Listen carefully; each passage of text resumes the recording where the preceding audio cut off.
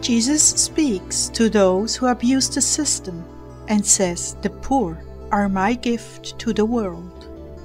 August 26, 2015. Words from Jesus to Sister Clare, spoken by Jackie.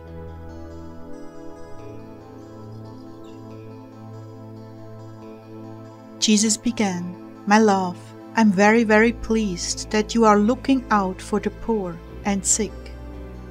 These are trying times, but I am with each and every one that truly loves me. Even those who abuse and reject me, I still provide for, because I hurt for them when they are so desperate. In the times that are coming, I want you to pay particular attention to the helpless.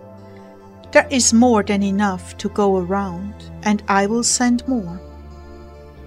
But wait on me. Do not be moved by credible stories, because indeed there are deceivers, and I do not wish to support their manipulative lifestyles. But I will care for those who are sincerely in need.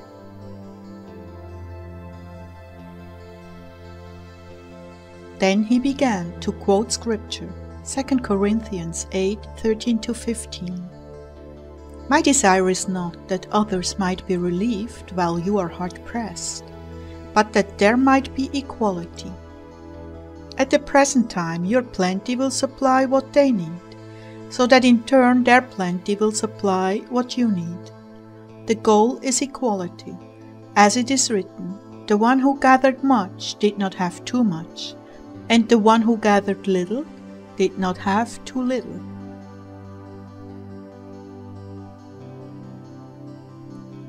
And at that point, I asked the Lord, What about the ones who are lazy and refuse to support themselves?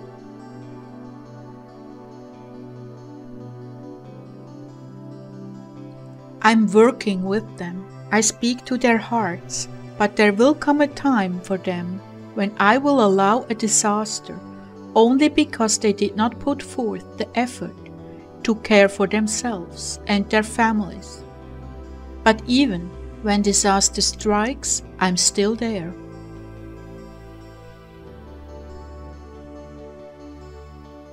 My servants have learned to live on very little. I will continue to provide for them because their agenda is mine and they are obedient. But those I have nudged in their hearts, wanting them to move forward and care for their own, they will indeed have difficult times ahead. Living off the government has put them at high risk. My children, those of you who are not disabled and sick, those of you who have been lying to the government and using the resources meant for the poor to support your own dishonest and lazy lifestyle, you will be left behind.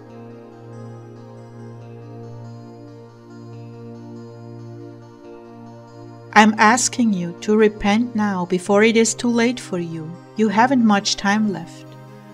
But if I see a sincere change in your lifestyle, I will forgive your sinful lying and take you in the rapture. But do not expect to use others for your own personal gain, misrepresenting yourself or your family, and be raptured at the same time. It will not happen. Boy, when I heard the Lord say that, I thought about those of you who are going to freak out when they hear this, and those of you who are scrupulous and prone to false guilt. And so I said, Lord, may I clarify this? You may. Okay, guys, the Lord is not talking about you who are legitimately sick or have disabled children and truly you can't work. He's talking about those who use the system to accumulate wealth and deceive the government about their needs so they can have more than their share. Most of you have already chosen honesty in your lives. Please don't worry. this is not about you. Those of you who are helpless and don't have any recourse because you can't work, this is not about you. This is about people who are deliberately deceiving the government and other people so they don't have to put forth any effort to support themselves. They're fully capable and they just won't do it.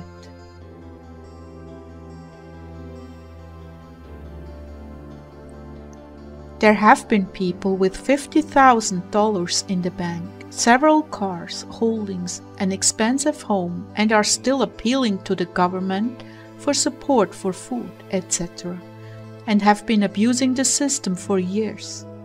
If you are in that category, repent while there is yet time. There are some who are fully able to work but have filed for disability because they thought they could get away with it, although they are not truly disabled. Please repent while there is time. I will have compassion on whom I will have compassion. I will have mercy on whom I will have mercy but I will not support or bless stealing and lying. So I appeal to you, my children, mend your ways.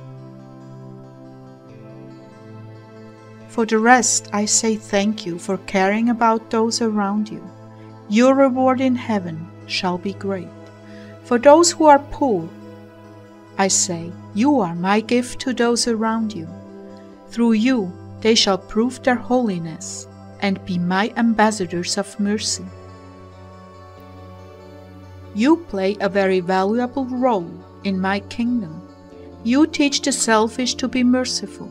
You teach the proud to be humble. You teach the rich compassion. Do not be ashamed of who you are. I allowed this circumstance in your life, and I have equipped you to bear the scorn and contempt of men, the way I did. I have allowed you to become very much like me, that the hearts of men could be revealed.